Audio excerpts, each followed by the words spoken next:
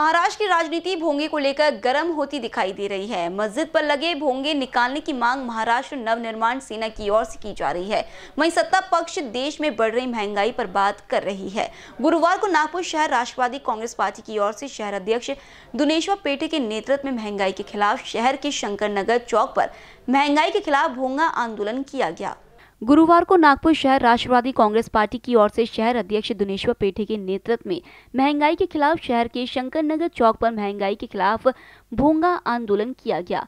Party का कहना है कि महँगाई ये देश की सबसे बड़ी समस्या है, मगर इस मुद्दे पर कोई भी बात नहीं करता, इसलिए राष्ट्रवादी की ओर से ये आंदोलन किया गया ताकि महँगाई की आवाज़ प्रधानमंत्री नरेंद्र मोदी तक जाए। कैमरा पर्सन राजकुमार मोहन के साथ अभिषेक पानसी बीसीएन न्यूज़ नागपुर।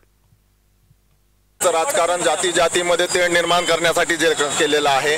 परंतु आम्ही जे भोंग्याचं राजकारण करतो आहे हे राजकारण आम्ही पण करतो आहे परंतु ते जनतेच्या कामासाठी जनता जी महागाईच्या याच्यामध्ये त्रस्त होत आहे महागाईमध्ये जे भरडत आहे तर त्या निमित्तानं आम्ही ह्या भोंग्याच्या माध्यमातून नरेंद्र मोदी सरकारपर्यंत आवाज जाईल आणि ते देशातील जे जनता ज्या महागाईच्या त्रस्त आहे तर त्या याच्यामुळे तर त्या कमीत कमी त्यांना निजात देण्यात येईल याच्यामुळे आम्ही ह्या भोंग्याचं आज आंदोलन करत आहे.